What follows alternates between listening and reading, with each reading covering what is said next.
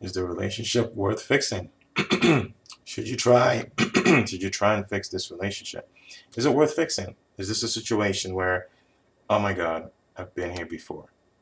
I've been here before. I've been here before. In fact, I've been here several times. And I keep trying to fix this, but we keep running into the same problems over and over again.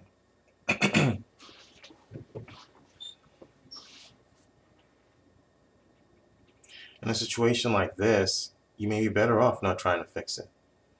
Because at the end of the day, it sounds like this is something that you're going at on your own. You're the one putting out the effort.